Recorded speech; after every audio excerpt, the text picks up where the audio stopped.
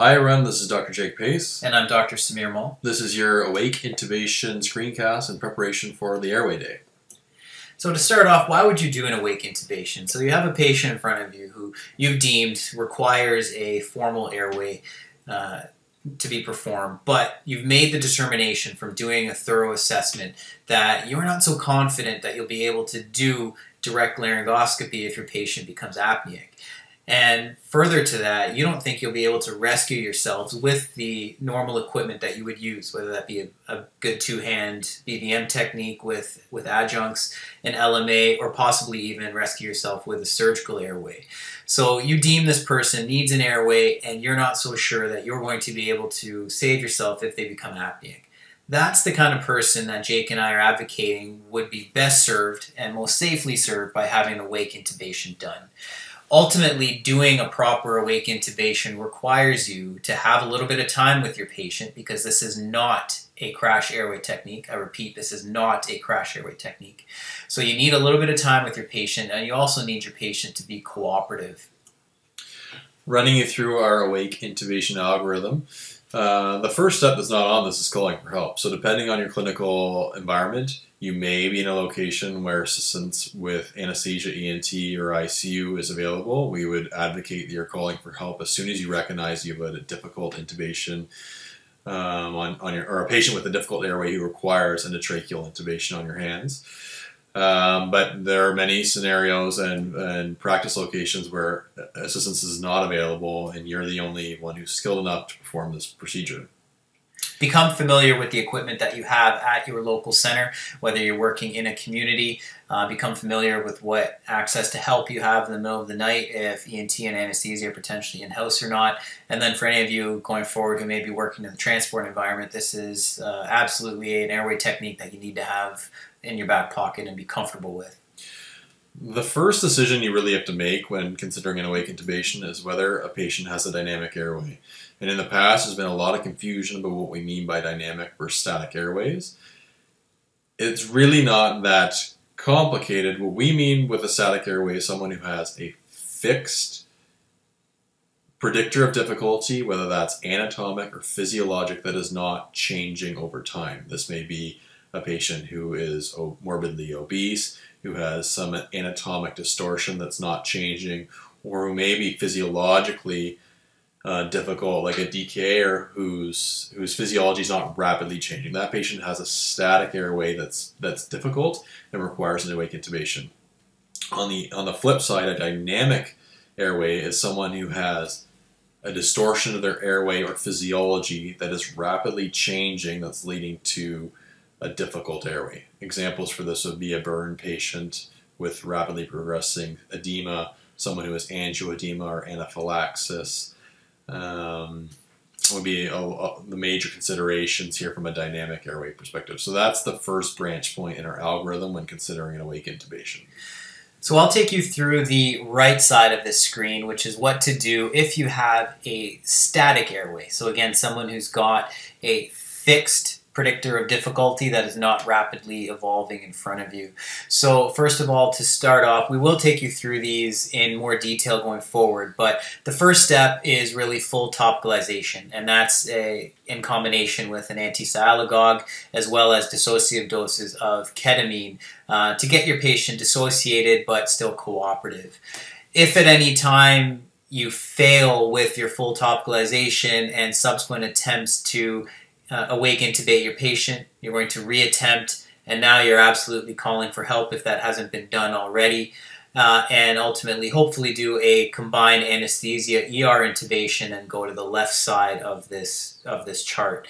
If after your full topicalization using a DL, VL, or fiber optic device, you are able to successfully intubate your patient, you'll go to just general post-intubation management with sedation, paralysis, and x-rays and, and the like. Uh, but if at any point you fail, have a very low threshold at this point to abort, call for help, and then proceed to the left side of your screen, which Jake will take you through now. When managing a dynamically difficult airway requiring awake intubation, you don't have time to perform a full topicalization of their airway That procedure takes 15 to 20 minutes, and someone whose airway is rapidly progressing with edema or from a burn perspective, um, you don't have time to perform full topicalization. So, what you're going to do here is administer a dissociative dose of ketamine at 1 to 2 milligrams per kilogram and perform modified topicalization where you're essentially giving the patient some amount of anesthetic in their oral pharyngeal um, space, but not the full amount that you do in a in a in a in a full awake intubation. If if this step after you do your modified topicalization with a dissociative dose of ketamine leads to a failed airway, you're now proceeding to a rescue RSI where you're going to push a paralytic agent and you're going to have a double setup prepared with with the anticipation that an open cric may be um, the next step for the patient. And we would absolutely advocate if you are doing an awake intubation, whether you have a static or dynamic situation, you are taking the time to mark the cricothyroid membrane because ultimately that will be the final step in your algorithm here. If you are on the modified topicalization side because your airway may potentially change quickly over the next few minutes, have your double setup ready, and this is the patient who's ultimately going to need an open cric to try to palpate uh, the usual structures we would uh, feel for rather than uh, having kind of a more controlled surgical airway, so to speak. There's a final reminder that anytime SATs drop below 90 in any airway management strategy, you're going to be bagging the patient uh, to achieve SATs greater than 90, and when failing to oxygenate, uh, converting to an open cric.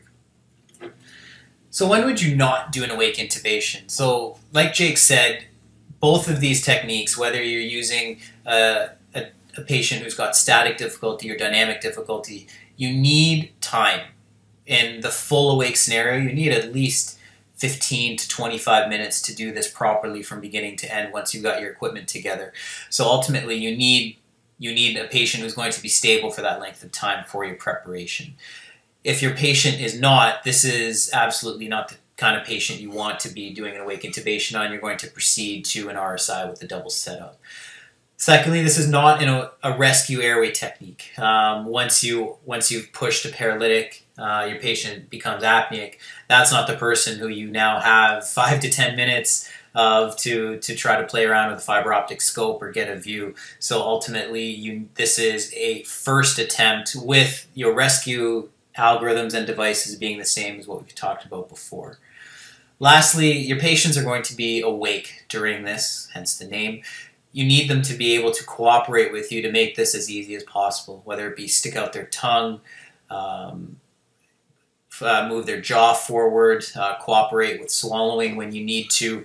Uh, ultimately, if your patient is unable to cooperate because they're agitated, uh, because their their physiology deems them unable to cooperate, Again, that is not the person we want you attempting an awake intubation on. So, who are some potential cases where you would consider an awake intubation?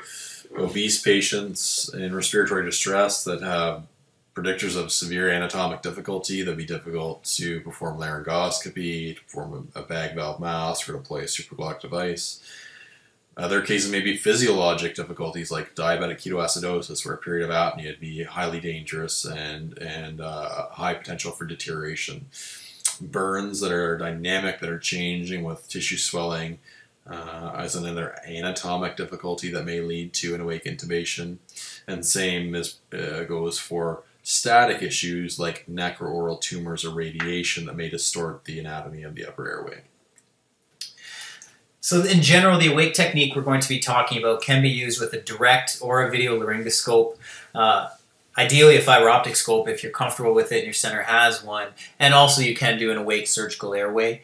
Ultimately, we advocate that uh, if you're able to and have some practice, a flexible intubating scope makes this the most comfortable for the operator and the patient medications that you may need, well, that you will need to facilitate an awake intubation are three threefold. Local anesthetics, such as lidocaine at 2%, where you're going to perform topicalization with um, with a lollipop. Uh, you may nebulize lidocaine to get that deeper into the airway, into the larynx and glottic structures. Next are antisialagogues like glycopyrrolate or atropine to dry oral secretions, which may which will allow for easier intubating conditions. and then a sedative or an antitussive agent. We prefer ketamine, but you may also consider midazolam or fentanyl. You just got to be careful with the dosing of these medications because they can cause apnea, which is exactly what we're trying to avoid by proceeding down awake intubation uh, route. Ultimately, with these medications, have your lidocaine out and prepped. Uh, you want to stay within the general confines of what your max doses of lidocaine would uh, would normally be. Uh, we recommend having your nebulized lidocaine uh, out and uh, pre-measured, uh, having your lidocaine lollipops out and ready as well. Um, and then lastly, with your ketamine, have it diluted down to 10 milligrams per mil, just so that you can titrate your ketamine a little bit easier during the procedure. So ultimately, step number one is your patient's going to be awake, so tell them what you're going to be doing. Uh, for the next 10 minutes or so, uh, you're going to have kind of various bits of equipment in their mouth and you're going to be giving them different drugs. Explain the procedure to them so that you can maximize their cooperation. Next, you're going to dry the oral uh, oral cavity with an antisialagogue. Um, you want to do this in an adequate amount of time. Um, prior to the attempt at, at intubation. Uh, you want to suction and dry the mouth, um, which will also help help with the application of topical anesthetics to the oral mucosa and the posterior pharynx. Um, and then once you've dried the mouth with initially with suction and with using some some gauze, you've administered your antisialagogue. Um, then you can administer your topical lidocaine to your nares and mouth to maximize absorption so it's not getting washed away. Uh, and then kind of different techniques that people use to get the lidocaine down into the glottic structures is uh, potentially spraying with a mucosal atomizer device during inhalation so that the lidocaine is directed towards the cords. Other ways to administer lidocaine is through nebules, uh, where we can give 5 mils of 2%. Um, the difference here is make sure we want nice, big, large droplets. We're not trying to get this lidocaine deep into the alveoli. We want this lidocaine staying uh, in, the, in the posterior pharynx. So uh, set your oxygen at only about five liters a minute, not the not the usual to flush or 15 that we're used to. Again, to get large droplets. Next, to help with some element of sedation, you're going to administer an agent like ketamine in low aliquot, low dose aliquots of 10 to 20 milligrams. This is to achieve gentle sedation dissociation, but avoids apnea. Uh, this would be the similar dosing that you'd use for ketamine in most procedural sedations, um, but just low and, and slow doses to make sure you're not pr producing a state of apnea, which we're trying to avoid. Next, if you're using a fiber optic scope, we highly suggest uh, and advocate that you use some sort of plastic as a conduit when possible. Uh, a nasopharyngeal scope split down the middle will allow you to have a nice, clean, clear plastic conduit to direct your fiber optic scope towards the cords. Um, and you can kind of coat that, uh, the outside of that uh, NP airway in some lidocaine so that it's more comfortable for your patient. Um, and there's some good techniques uh, shown in the videos to why we split that down the middle so it's just easier to peel off and, and pass your endotracheal tube after the fact. Um, if you are using an oral technique with a uh, uh, direct or video laryngoscope, uh, using an oral block uh, just to give yourself more mouth opening and make it more comfortable to the patient may also make it a little bit easier. Next up, obviously, depends on the equipment that you're you have at your disposal. If you're using an Ambu scope, you're going to insert a preloaded Ambu scope into the nasal airway uh, to the distal tip of the nasal airway. And if you're using a direct or video laryngoscope, you will insert that in, in standard fashion around the oral pharyngeal corner. And then you, often having an assistant, just apply a gentle jaw thrust um, or grasping the tongue and helping with protrusion of the tongue may may just lift the structures off the posterior uh, oral pharynx and allow you to visualize the cords in a more adequate way. Utilize the spray as you go technique. Uh, many fiber optic scopes like the Ambu or, or, Bronx allow you to have, have a separate port where you can spray as you go. So advancing, spraying some lidocaine, waiting a few moments, advancing, spraying advancing slowly uh, will make this more more comfortable for your patient. Um, if you're using a video laryngoscope or uh, direct laryngoscope, uh, ideally this this could be done with uh, the curved long mucosal atomizer devices that are available, uh, where you can first start by spraying the tongue, then the back of the tongue, and slowly as you're advancing your DL or VL device, just keeping uh, your lidocaine sprays a few millimeters ahead uh, will facilitate cooperation with your patient. Uh, if you are doing a nasal airway with an ambuoscope, once you've intubated the cords, you can peel your pre-split nasal nasopharyngeal airway out and advance your endotracheal tube.